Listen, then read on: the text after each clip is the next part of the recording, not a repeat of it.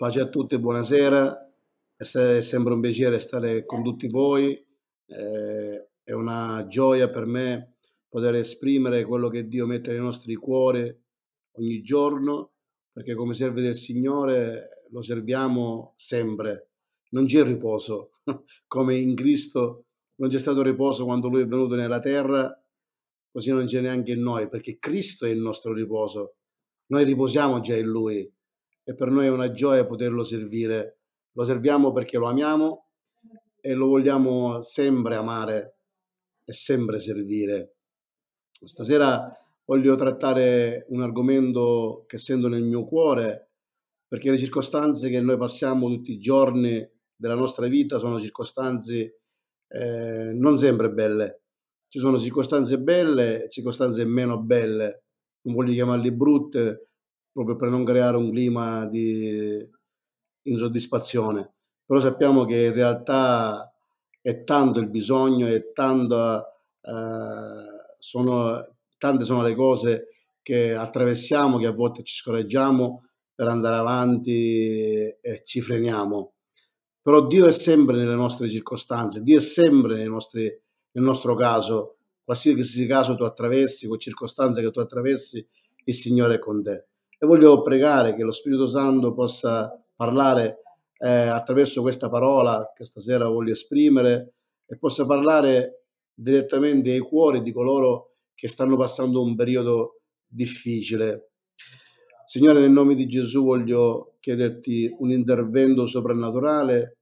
Tu sei il Shaddai, l'Iddio Onnipotente, Geova Jaira, colui che provvede per ogni circostanza, per ogni bisogno, per ogni situazione o caso che noi attraversiamo. A volte noi vogliamo fare da soli e non ci riusciamo. Abbiamo bisogno di te, abbiamo bisogno che tu possa intervenire in noi, per noi, a nostro favore. E noi vogliamo chiederti questa sera che possa tu intervenire nei cuori della gente che sta ascoltando o chi, Signore, è credente, chi ancora non è non ha dato la vita a te, che possa capire che tu ci sei per tutti. Perché la tua parola, Signore, è stata chiara e tu sei venuto per il mondo, hai dato la vita al tuo figliolo Cristo Gesù affinché chiunque crede in te non perisca ma abbia la vita eterna. E noi vogliamo, Signore, che questa sera tu possa parlare ad ognuno di noi. Grazie perché tu interverrai percetto nelle persone che stanno sperando in te in quel caso o in quella circostanza, Signore, di bisogno, tu sarai lì. Tu sarai lì, Signore, in quella persona, in quell'uomo, in quella donna, in quel giovane, in quella famiglia che sta chiedendo aiuto. Intervieni per ogni circostanza. Grazie, Signore, nel nome di Gesù. Amen.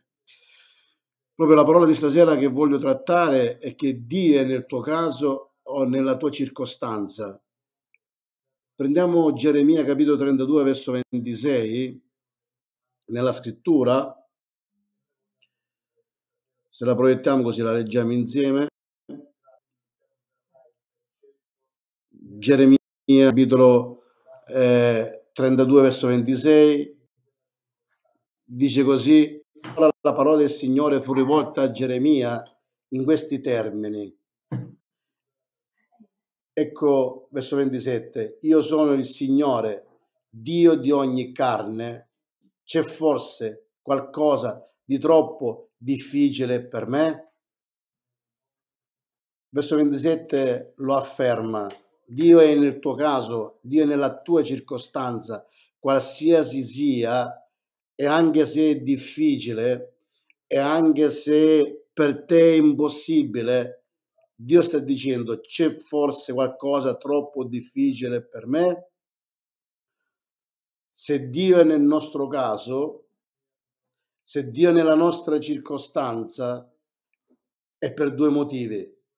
Numero uno, perché Dio ti ama e non ti ha mai lasciato solo, non ti ha mai lasciato fuori la porta se tu hai bisogno, se tu hai necessità, Egli ti ha sempre accolto perché Egli ti ama, ha dato suo figlio per te.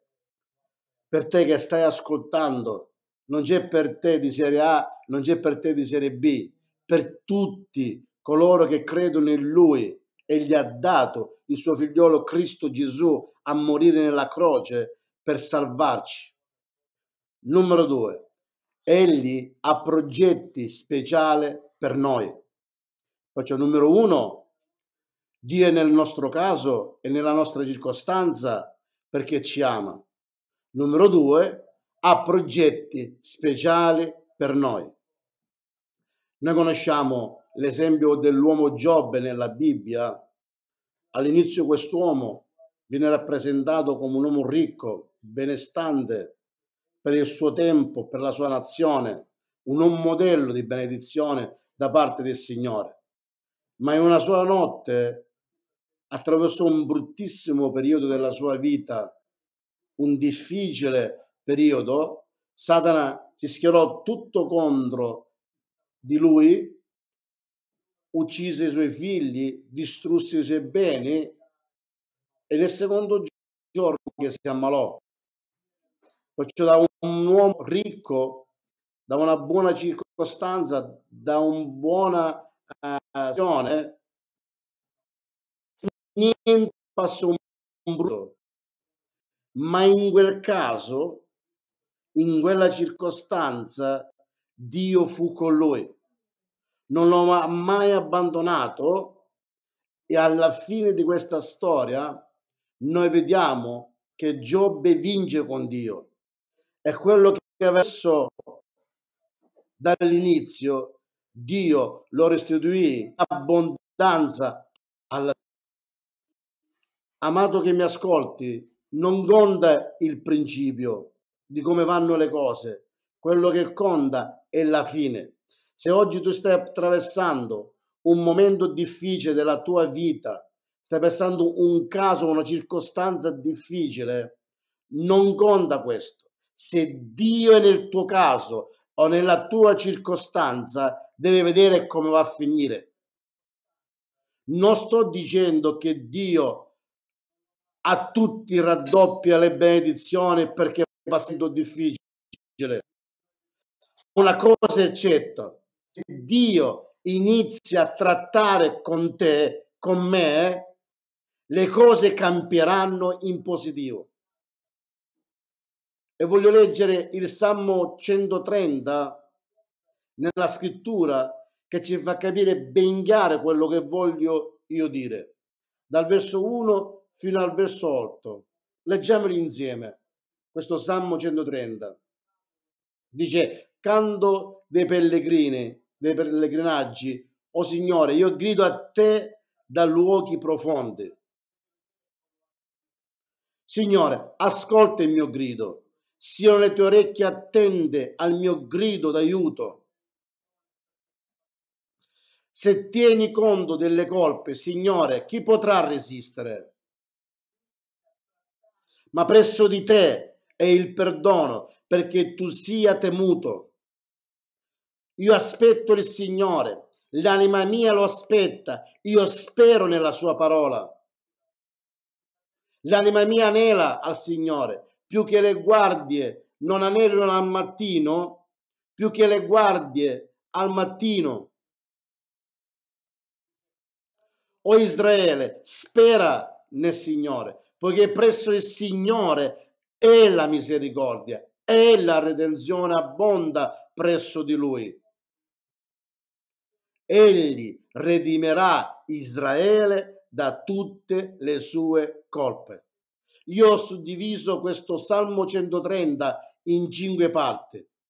Il verso 1 sta dicendo che il salmista grida a lui nei luoghi profondi grida a lui nella profondità dell'incertezza, nel buio, nella difficoltà, porta la sua causa al Signore e nella sua profondità, nel suo dolore, egli guarda in alto, egli grida a Dio. Amati, ricordiamoci che il tempo delle cose, quando vanno bene, non ci pensiamo agli altri, non ci pensiamo a Dio. Forse tante volte disprezziamo le persone perché ci troviamo in cima, non abbiamo bisogno di nessuno, non abbiamo bisogno di niente, ma quando ci troviamo nella profondità, quando ci troviamo nella difficoltà, capiamo che noi abbiamo il bisogno di qualcuno che ci può aiutare. E allora guardiamo in alto, dal basso verso l'altro. Ma quando stiamo bene, noi guardiamo dall'alto verso il basso. Qui il salmista sta guardando da una posizione di bisogno, dal basso verso l'alto, perché sta gridando aiuto al Signore.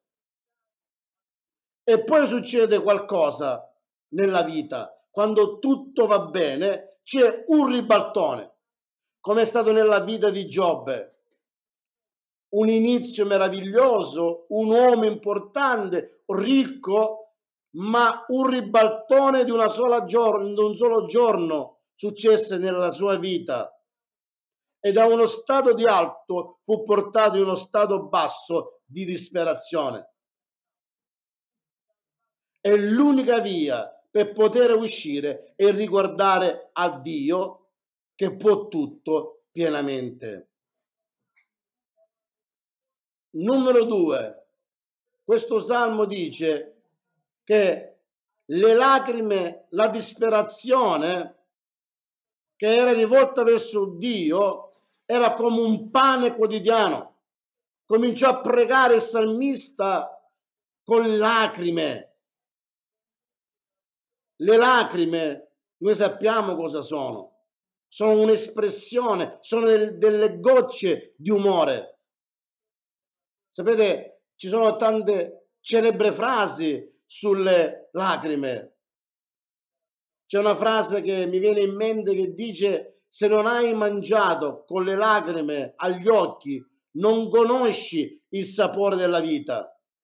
Gesù stesso piange davanti a un bisogno.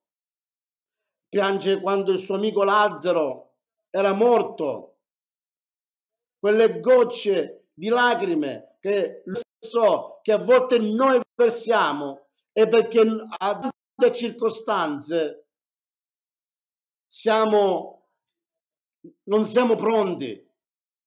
Di quello che a volte ci capita, ci disperiamo, non sappiamo il perché, siamo in una posizione di così profondo dolore che non riusciamo neanche a reagire e ci chiudiamo e piangiamo davanti a questa circostanza. Ma amati, le lacrime fanno la differenza. La fanno forse in, a volte in bene o la fanno in male, ma le lacrime sono il ghiaccio che si scioglie della nostra anima. A volte le nostre lacrime sono il linguaggio silenzioso di quello che noi stiamo attraversando nella nostra vita. E il verso 2 proprio del Salmo 130 dice, Signore, ascolta il mio grido, siano le tue orecchie attente al mio grido d'aiuto.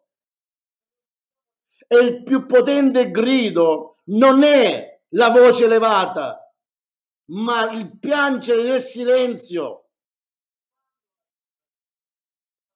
Davide capiva questo. Davide lo attraversò questo.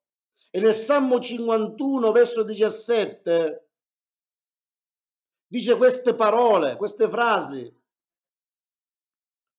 Sacrificio gradito a Dio è uno spirito afflitto. Tu, Dio, non disprezzi un cuore abbattuto e umiliato. Ecco la condizione di bassezza.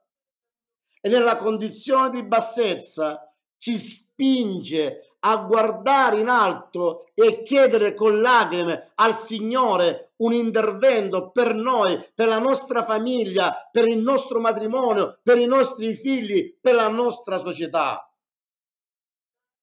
A Dio non piace un cuore orgoglioso. Perciò io dico, quando le cose andavano bene, c'è la tentazione all'arroganza. Non siamo accessibili, non ci fermiamo, non ci possono parlare, non possono insegnarci. Siamo anche maestri, sappiamo tutto. Ma quando abbiamo difficoltà, ascoltiamo, ci fermiamo, ci umiliamo e Dio ministra alla nostra vita. Dio guarda dal cielo e dice su di noi, io ho grandi progetti per te, ma non ti potevo usare prima per portarti dove io volevo, ma ora nella condizione di disarmo della tua vita, io ti prenderò nelle mie braccia e ti porterò in luoghi di pascoli di tenera erba, in luoghi migliori. Giobbe arrivò al fondo, ma tornò in superficie più forte di prima amato che mi ascolti, se stai passando un momento difficile e hai toccato il fondo, ti trovavi in una situazione bella, avevo una bella famiglia, avevo un bel rapporto matrimoniale, avevo un buon rapporto con i tuoi figli. E tutto ciò in un niente è svanito, sappi che Dio in questo momento è vicino a te per aiutarti. Egli non si è dimenticato di te. Egli ti prenderà con le sue mani e ti porterà in luoghi migliori, perché sa che ora può lavorare con te. Sa che ora, in questo momento, sei disarmato e lui ti darà le armi per poter vincere tutta l'astuzia del, del, nemico verso di te. Affida al Signore, affida la tua vita al Signore, affida la tua casa al Signore. Numero tre, dobbiamo piangere con la misericordia. Il nostro atteggiamento verso Dio e verso le cose di Dio sono atteggiamenti di umiliazione per avere una benedizione. Chi si abbassa sarà innalzato. Dio nella sua grande misericordia si abbassò, si umiliò per innalzarci. E se noi nella sua grande misericordia facciamo appello a Lui, Egli ci benedirà. Ricordati che Dio è sovrano su ogni cosa. Lui può decidere se dare o non dare a te attraverso la sua misericordia. Lui ha pietà di ognuno di noi. Perché? Perché egli è un Dio compassionevole, pieno d'amore. Dio è amore. Siamo noi che purtroppo abbiamo smesso di amare perché abbiamo ricevuto dolore, sofferenza. Ma quando ci rimettiamo nelle mani del Signore di nuovo, Egli ci aiuterà a perdonare affinché saremo perdonati. Dio è compassionevole. Il Salmo 145, verso 8. Dice, il Signore è misericordioso è pieno di compassione, lento all'ira e di grande bontà. Dio è compassionevole, non è come noi, non ricambia di ira, non agisce velocemente. Dio ci aiuterà perché Lui sa che tu hai bisogno in questo momento nella tua vita di rialzarti. Lui sa che tu non ce la fai a reagire, ti aiuterà a farlo perché è compassionevole verso di noi. Non ci ha mai lasciati soli, non ci ha mai abbandonato. Non ascoltare la voce del diavolo che ti dice che Dio ti ha abbandonato, che tutti ti hanno abbandonato. Sappi che Dio è presente nel tuo caso sappi che Dio è presente nella tua causa. Egli è sovrano su ogni cosa. Non puoi dire a Dio è difficile questo argomento, questa cosa che sto passando, questo periodo difficile. Egli è sovrano su tutto. Paolo ai Romani, capitolo 9, versetto 14, dice così, verso 14, 15 e 16, Romani capitolo 9, che diremo dunque? Vi è forse ingiustizia in noi? Non di certo. Poiché egli dice a Mosè, io avrò misericordia di chi avrò misericordia e avrò compassione di chi avrò compassione non dipende dunque né di chi vuole né da chi corre, ma da Dio che fa misericordia. Tu pensi che Dio non sa quello che stai attraversando? Tu pensi che Dio non sa che cosa ti stanno facendo? Tu pensi che Dio non sa la malattia che tu hai, quello che tu stai vivendo? Egli è misericordioso, al di là di tutto quello che tu stai pensando, di tutto quello che ti sta accadendo, Dio può intervenire e spazzare via ogni cosa e ristabilire di nuovo una vita di gioia, non di dolore per te e per me. Ma noi dobbiamo vedere una cosa che ha causato tutto questo, è il peccato. Dobbiamo vedere perché siamo arrivati a questo punto. Dobbiamo capire che abbiamo fallito alcune cose. E finché non siamo in grado di vedere il nostro peccato, non possiamo avere convinzione di peccato. Ecco perché ce la prendiamo con tutti. Perché a volte le difficoltà ce l'hanno create gli altri, noi siamo stati buoni. Non è vero davanti a, a circostanze come queste che stai attraversando, non puoi dire tu sei buono, gli altri sono i cattivi.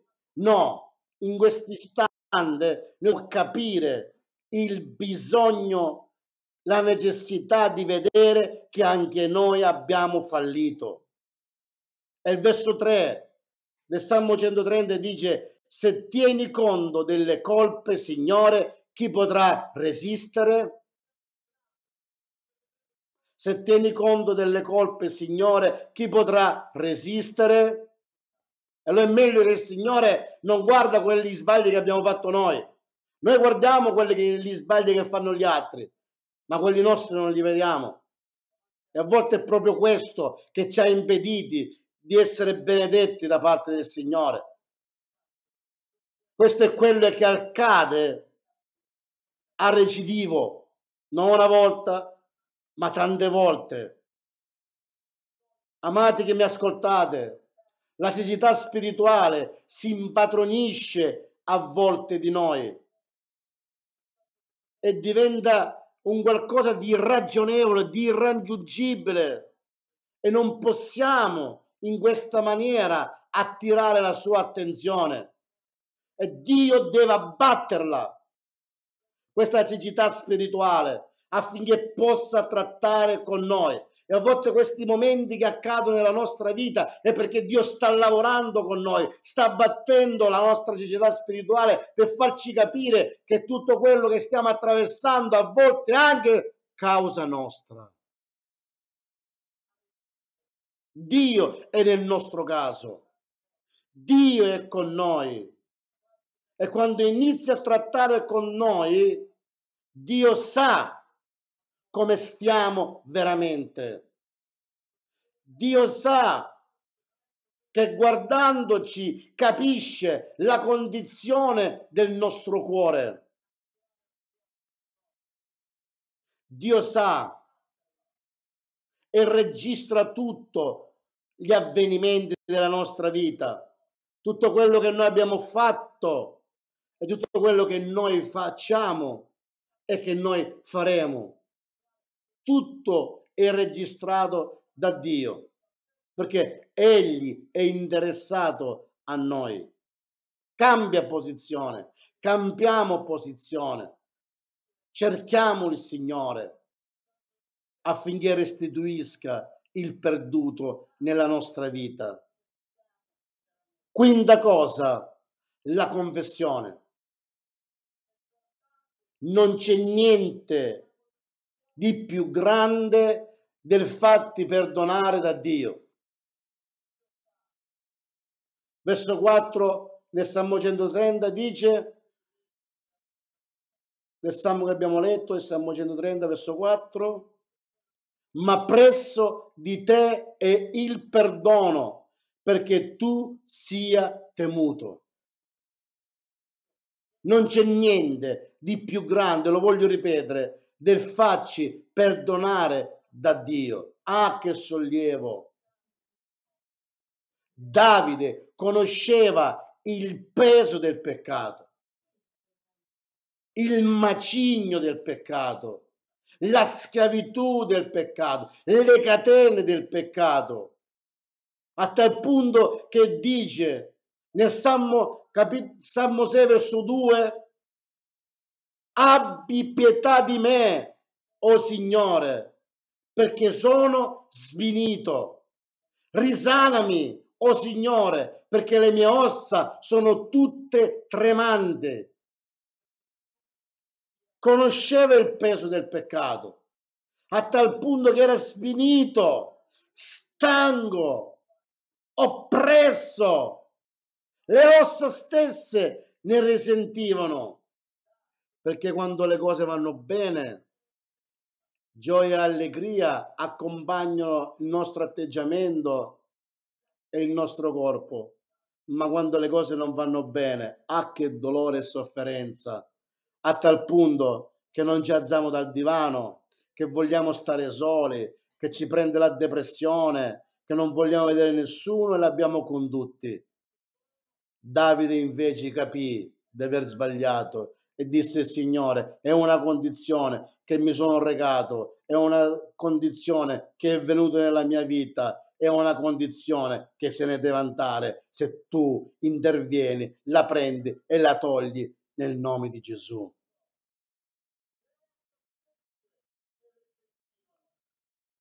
Alleluia. Il Signore è con noi. Il Signore è nella causa. Nel tuo caso. Egli non ti ha mai abbandonato. Davide soffrì, disse a tal punto che nel suo cuore, a causa della sua ira, non c'erano requie per le sue ossa a causa del suo peccato, non c'era refrigerio. Non permettere che il peccato ti fa stare così male. Non permettere che il peccato distrugge i rapporti con gli altri. Non permettere che il peccato sia la condizione di sofferenza e dolore per il resto della tua vita. Egli non ci mette faccia a faccia con il peccato. Sai perché? Perché non ci vuole far sentire orribili. Egli ci mette faccia a faccia con lui che è amore. Egli può aiutarci. Lo Spirito Santo verrà, disse Gesù, e vi convincerà non solo di peccato, ma anche di giustizia. Perciò egli è giusto. E se noi capiamo che Dio è giusto, noi mettiamo la nostra vita a posto davanti al Signore. Egli ci mostra ciò che Gesù ha fatto per noi sulla croce del Calvario. È il verso 8 del Salmo 130 e finisco qua, perché penso che il messaggio è rivolto a te che mi stai ascoltando. Dice, egli redimerà Israele da tutte le sue colpe. Qual è la tua colpa? Qual è la tua motivazione? Qual è la causa che ha portato tutta questa circostanza nella tua vita, nel tuo matrimonio, nella tua famiglia? Questa sera riconoscela davanti a Dio, umiliati nella posizione più bassa, guarda verso l'alto, da lì viene l'aiuto. Il mio aiuto viene dal Signore. Perciò questa sera voglio pregare per te. Voglio pregare affinché il Signore ti possa aiutare ad rialzarsi, a rialzarti dalla profondità delle cose che stai attraversando e tu possa cominciare di nuovo a gioire per tutte quelle lacrime che tu hai speso di sofferenza e di dolore per il tuo corpo, per la tua famiglia, per il tuo matrimonio, per la tua nazione. E se noi abbiamo speso queste lacrime è perché si è sciolta la nostra anima davanti a questi per periodi difficili che abbiamo attraversato. E se noi abbiamo pianto, come ho detto, è un linguaggio silenzioso che solo Dio può ascoltare. Non è debolezza, si chiama rottura. Dio attraverso questo periodo ha rotto il tuo orgoglio, la tua vita, perché sa che tu oggi puoi rinascere in una nuova creatura. Le cose vecchie sono passate, tutto in Cristo diventeranno nuove. Perché Egli è un Dio di misericordia, un Dio grande e tremendo, Dio che conosce ogni nostra circostanza. Però vedi il peccato Vedi cosa ha causato questo. E questa sera unisciti a me per pregare a Lui. Vogliamo pregare e chiedere al Signore aiuto. Aiuto. Non è debolezza. Alza le mani insieme a me. Dovunque ti trovi nella tua casa. Anche se non, l'hai fatto prima, perché non avevi la forza. Dai pensieri, dalle circostanze. Questa sera ti invito a fare. Da dove viene il mio aiuto? Il mio aiuto viene dal Signore. E quando alzi le mani, stai arrendendo te stesso a Dio, dicendo come un segno, alzando le mani, sono qui, Signore, sono qui ho bisogno di te. Senza di te non possiamo fare nulla. Così disse ai discepoli, senza di me non potete fare nulla. Erano convinti che perché avevano conosciuto lui tutto poteva andare tranquillo. Ma ci sono momenti della vita che noi attraversiamo così difficili che se non alziamo le mani a lui e richiediamo l'urgenza di un suo intervento, le cose non cambieranno. La puoi prendere come vuoi, puoi avere la ragione di questo mondo, ma se non c'è Dio che interviene e cambia le cose, rimarranno in quella maniera. Se hai da chiedere perdono perché hai riconosciuto di aver sbagliato, fallo subito. Se lo devi fare, fallo ora. Inizia a pregare perché Dio ti dia la forza di poter perdonare. Prima perdonare te stessa o te stesso per quello che hai fatto e poi dire perdono chi mi ha reso del male. Padre, nel nome di Gesù, questa sera voglio pregare per i tanti che si sono messi nella posizione di orgoglio per quello che stanno attraversando. Ma questo orgoglio, Signore, non ha portato vittoria, ha solo portato disperazione, abbattimento della nostra vita. Io chiedo tuo intervento, Signore.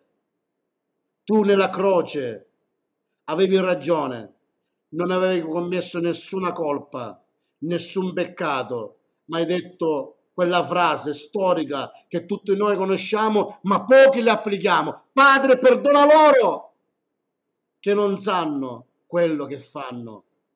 Tu hai perdonato i tuoi aguzzini, Signore. Aiuto questa forza e io questa sera voglio pregare che chi mi sta ascoltando possa perdonare coloro che l'hanno tradita, maltrattata, offesa o offeso, affinché possiamo rialzarci da quella posizione di sconfitta. Signore, qualsiasi parola hanno annunciato, pronunciato, sentenziato verso di noi, chiunque siamo qui presenti, io, il pastore Petrone, non c'è nessuno che non è stato attaccato da parole, da situazioni, da circostanze, perché a volte tutti ci rechiamo giusti, mentre c'è un solo uno giusto, che sei tu. Chiediamo perdono, Signore, per la nostra vita e per la loro vita. Liberaci, Signore, da questo macigno, da questo peso, come disse Davide, perché ci ha portati a volte tristezza. Togli la tristezza di quelle parole offensive nella nostra vita di quelle persone che ci hanno aggrediti sem- senza che abbiamo fatto niente, forse li abbiamo amati, forse li abbiamo aiutati.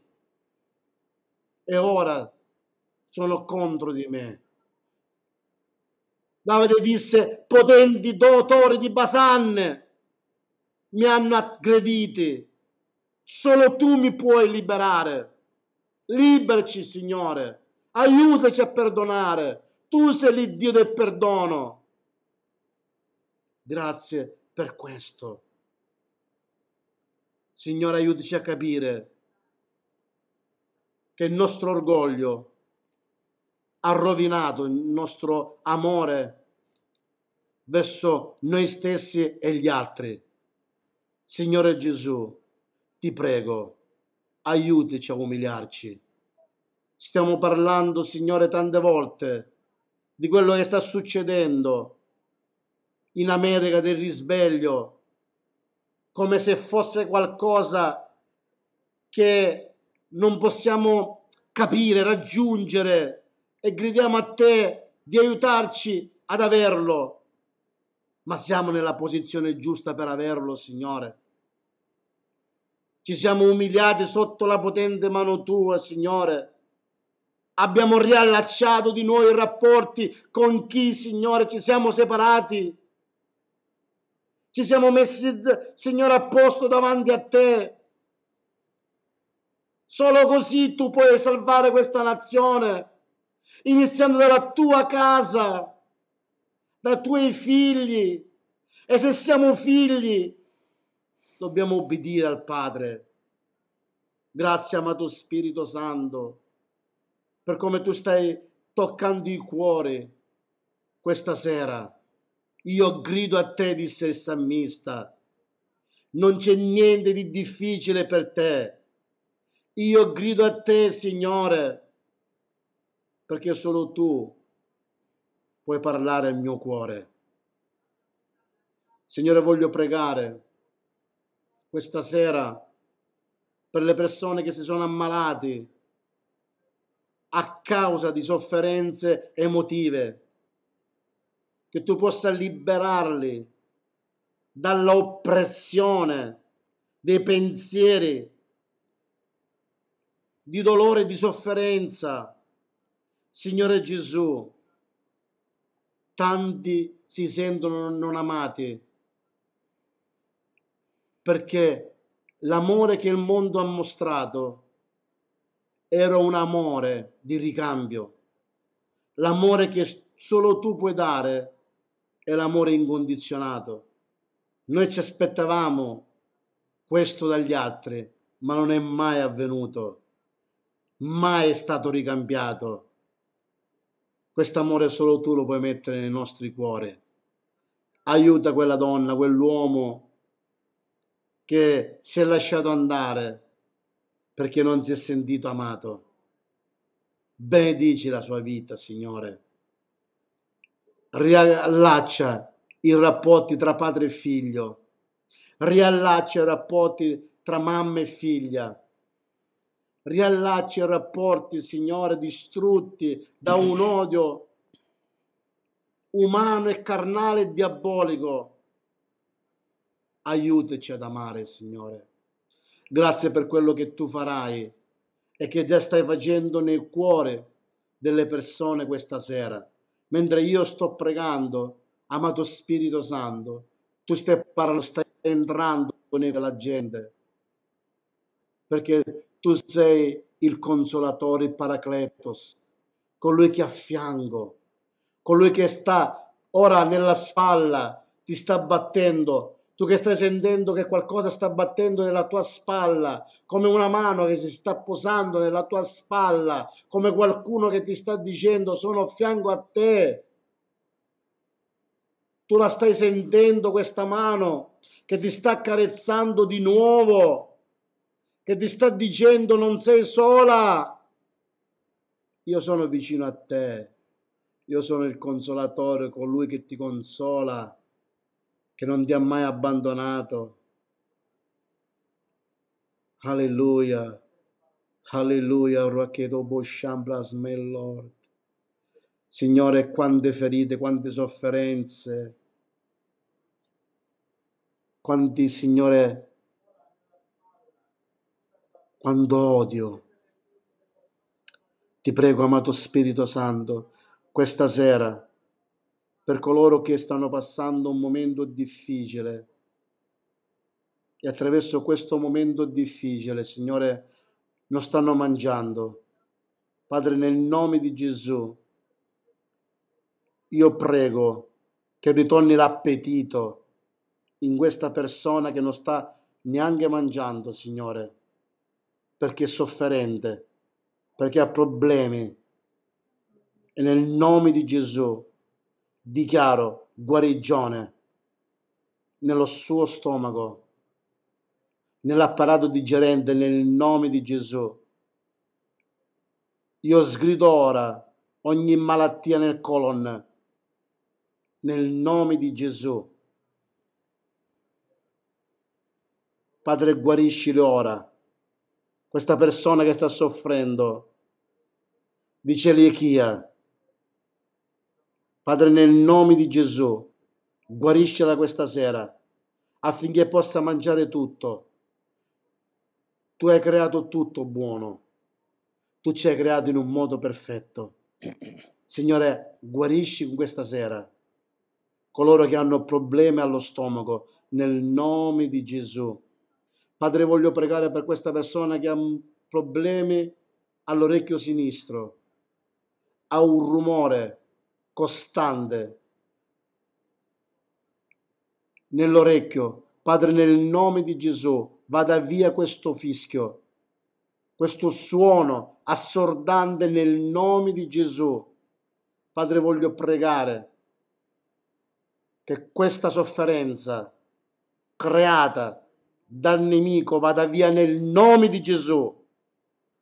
Ora Urrababashanda la maracisa. Stendi le tue mani su di lei, Signore.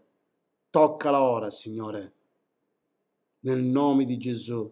Padre, voglio pregare ancora perché questo uomo, Signore, che ha sempre problemi di flusso sanguigno nel naso, le vene capillari, Signore.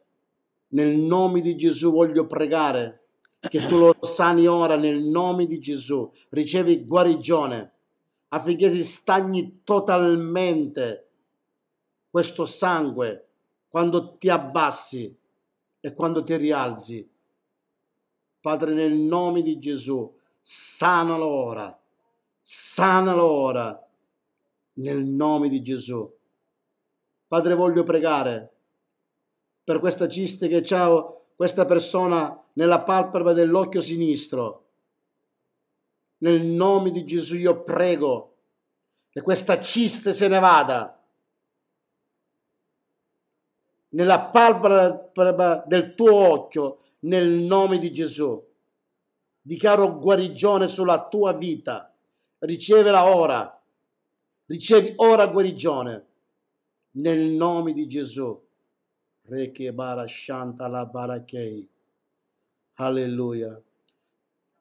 Signore, voglio pregare per questa donna che sta perdendo i capelli. Tu che stai perdendo i capelli, voglio pregare per te stasera questo è un problema di depressione, di sofferenza nella tua vita e stai perdendo questi capelli, te ne stai accorgendo man mano che pettini i tuoi capelli, perdi i capelli, perché c'è tanta sofferenza nella tua vita, dentro di te, e sta sfociando in questo, io voglio pregare questa sera che si, si arresti ora la caduta dei capelli nel nome di Gesù che ci sia piena guarigione in te. Ricevela ora, nel nome di Gesù.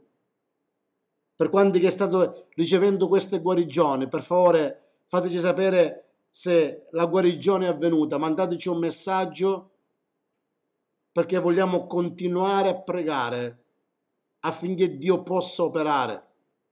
Il risveglio non è solo in America, il risveglio è nei nostri cuori per quelli che credono nel Signore. E questa televisione, parole di vita, già un mezzo per portare un risveglio nella tua vita, nella tua casa. Non, dobbiamo, non abbiamo bisogno di andare troppo lontano per trovare Gesù, per trovare il soprannaturale. Solo, solo se tu alzi le tue mani al cielo ricevi dal cielo la risposta. E questa sera miracoli avvengono nella tua vita, miracoli stanno succedendo. Io lo decreto ora nel nome di Gesù. Potenti miracoli stanno avvenendo nella tua vita, nel nome di Gesù, nel tuo stomaco, nel tuo orecchio, nelle palpebre del, del tuo occhio, nei tuoi capelli. Io dichiaro potente guarigione. Alleluia. Voglio pregare per, questa, per questo uomo che è balbuziente, che non parla bene, metti la mano nella tua bocca. Io voglio pregare nel nome di Gesù. Signore, liberalo completamente affinché fluisce nel, nel parlare. Perché questo è solo un caso di nervosismo nella tua vita per quello che tu hai subito e nel nome di Gesù la pace sta entrando in te, la guarigione sta entrando in te, comincia a parlare e se ne va, se ne va tutte quelle cose che non ti appartengono. Ricevi piena guarigione nel nome di Gesù. Non ti abbattere, anima mia, spera nel Signore non ti abbattere, dillo forte, non ti abbattere, anima mia, spera nel Signore. Grazie, amato Spirito Santo, per quello che tu stai facendo questa sera. Riempi, Signore, la vita di ognuno con la parola e con i segni, perché non c'è manifestazione di parola se non c'è l'evidenza di un segno. E noi questa sera i segni ci sono stati, noi vedremo la gloria di Dio manifestata, perché io so che Dio sta intervenendo nella tua vita, solo devi crederci e il miracolo è tuo, nel nome di Gesù. Amen.